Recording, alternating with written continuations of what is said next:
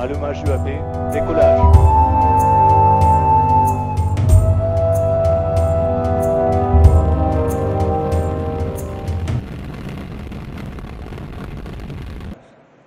Ningún poder fáctico o constituido tiene derecho a privar a los países pobres del, del pleno ejercicio de su soberanía. Y cuando lo hacen, vemos nuevas formas de colonialismo que afectan seriamente las posibilidades de paz y de justicia, porque la paz se funda no solo en el respeto de los derechos del hombre, sino también en los derechos de los pueblos, particularmente el derecho a la independencia. Los pueblos Los pueblos de Latinoamérica parieron dolorosamente su independencia política. En estos últimos años, después de tantos desencuentros, muchos países latinoamericanos han visto crecer la fraternidad entre sus pueblos.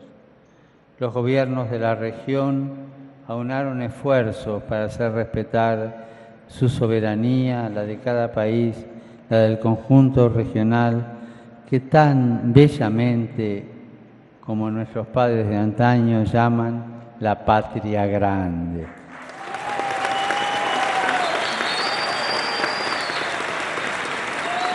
Le pido a ustedes, hermanos y hermanas de los movimientos populares, que cuiden y acrecienten esta unidad.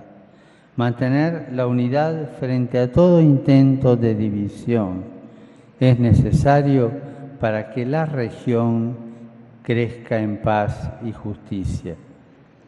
A pesar de estos avances, todavía subsisten factores que atentan contra este desarrollo humano equitativo y coartan la, soberanía de los países de la patria grande y otras latitudes del planeta. El nuevo colonialismo adopta diversas fachadas. A veces es el poder anónimo del ido dinero, corporaciones, prestamistas, algunos tratados denominados de libre comercio y la imposición y la imposición de medidas de austeridad que siempre ajustan el cinturón de los trabajadores y los pobres.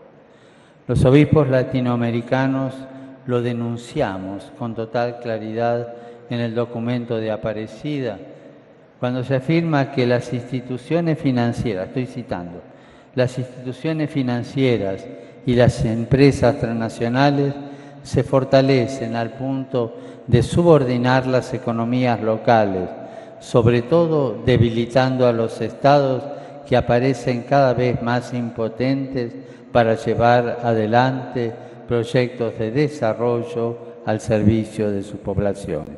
Hasta aquí la cita.